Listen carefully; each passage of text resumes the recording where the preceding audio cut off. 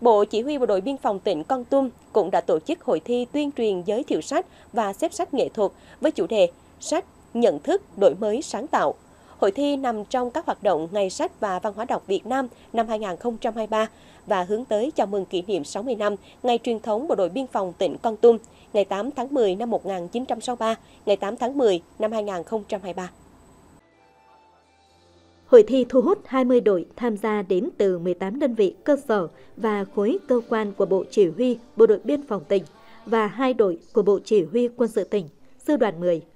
Ở phần thi tuyên truyền giới thiệu về sách, các đội đã bám sát chủ đề của cuộc thi, thể hiện khá tốt kỹ năng diễn đạt, nhuần nhuyễn trong trình bày nội dung và phân tích rút ra ý nghĩa bài học sâu sắc, gần gũi với cán bộ chiến sĩ, đặc biệt cán bộ chiến sĩ Bộ đội Biên phòng.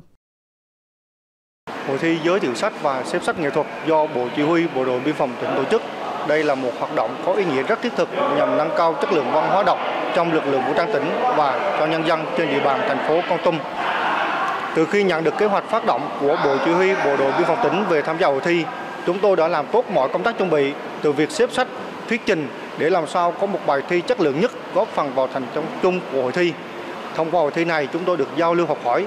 để tiếp tục nâng cao chất lượng văn hóa đọc trong cơ quan đơn vị, góp phần hoàn thành xuất sắc mọi nhiệm vụ được giao. Ở phần thi xếp sách nghệ thuật, các đội đã chủ động nghiên cứu, có nhiều ý tưởng sáng tạo khéo léo, qua đó gửi gắm những thông điệp về tình yêu quê hương, đất nước, biển đảo Tổ quốc, về Bác Hồ kính yêu, Đảng Cộng sản Việt Nam quang vinh. Từ những cuốn sách đơn thuần, qua sự sắp xếp khéo léo đã hình thành những mô hình sách sinh động và đầy màu sắc độc đáo như mô hình lăng Chủ tịch Hồ Chí Minh, hoa sen, tháp rùa, ngọn hải đăng, nhà rông, cột mốc biên cương.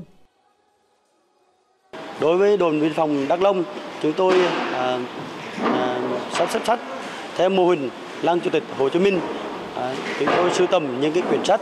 à, về Chủ tịch qua các thời kỳ à, thông qua những người cắm đến à, cán bộ chiến sĩ à, tiếp cận được những cái quyển sách hay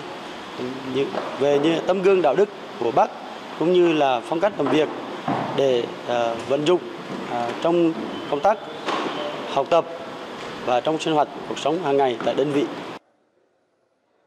Phần xếp sách của các đơn vị đã thể hiện tình yêu quê hương đất nước, niềm tự hào về những trang sử vẻ vang của dân tộc, của lực lượng vũ trang trong suốt chiều dài dựng nước và giữ nước. Nhiều đội có mô hình công phu sáng tạo như Bộ Chỉ huy Quân sự tỉnh, Sư đoàn 10, các đồn biên phòng Hồ Le, Gia Đan, Rờ Cơi, Đắk Long và đoàn cơ sở khối cơ quan. Đội thi đến từ Sư đoàn 10 chúng tôi đã lựa chọn chủ đề xếp sách là Bác Hồ sống mãi cùng non sông đất nước. Và bên cạnh đó thì chúng tôi à, xếp mô hình sách theo năng Bác Hồ, à, theo năng Bác Hồ à, để thể hiện cái sự tôn kính Ờ, cũng như là lòng biết ơn vô hạn của lớp lớp cán bộ chiến sĩ sư đoàn 10 chúng tôi nói riêng và của lực lượng vũ trang nói chung đối với bác. Hội thi tuyên truyền giới thiệu sách và xếp sách nghệ thuật là một trong những hoạt động ý nghĩa, góp phần khẳng định vai trò tầm quan trọng của sách, tôn vinh giá trị của sách, xây dựng và phát triển văn hóa đọc trong lực lượng vũ trang và nhân dân, đặc biệt là của cán bộ, chiến sĩ bộ đội biên phòng tỉnh.